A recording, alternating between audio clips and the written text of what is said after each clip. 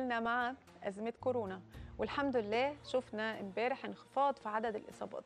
يعني لو استمرينا على ده خلال الفترة القادمة إن شاء الله إن شاء الله نقدر إن إحنا نعدي الخطر ونقف أو نوقف درجة الانتشار. ولازم نأكد على الوعي والالتزام بالإجراءات الوقائية. والنهاردة هركز على أهمية ارتداء الكمامة. يعني إيه؟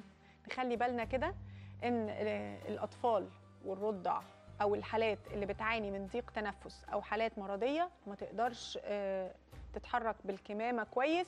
الفئات دي بيحذروها الأطباء من استخدامها. يعني الحالات اللي مش عارفة تتنفس كويس من الكمامة ما تستخدمهاش. ولكن الكمامة مهمة في الأماكن العامة والمواصلات للباقيين. الناس اللي عادي تقدر إنها ما عندهاش أمراض في التنفس وفي ضيق التنفس لازم تلبسها. وخليني أقول لكم الطريقة الآمنة. قبل وضع القناع يجب طبعا إن إحنا نغسل إيدينا كويس جدا بالمية والصابون. وبعد كده بنغطي الفم والأنف. في ناس بتغطي بقها بس. لا إحنا بنغطي الفم والأنف بالقناع. وبنتأكد من عدم وجود فجوات بين الوجه والكمامة.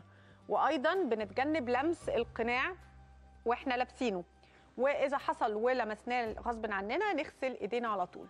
من الضروري أيضا إن إحنا نستبدل الكمامة لو حسينا إن هي بقت رطبة.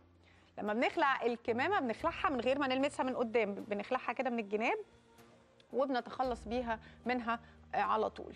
ناس كتير بتتلخبط خلي بالكم اللون الأزرق ده اللي بره واللون الأبيض هو اللي بيكون جوه. وطبعا في أنواع كتيرة جدا من الكمامات أفضل كمان زي ان 90 والحاجات دي بيقولوا عليها إن هي برضو إيه كويسة جدا. أهم حاجة كمان إن السلك اللي هنا ده في سلكة كده بنضغط عليها في الأنف عشان تمسك تمسك كويس حوالين المناخير فالهواء ما ما يدخلش أو ما يطلعش.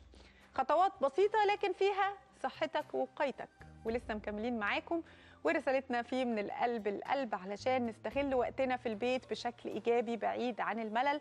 هنقدم لكم دايما الأفكار اللي تساعدكم في قضاء وقت ممتع مفيد في البيت مع أسرتك وأولادك.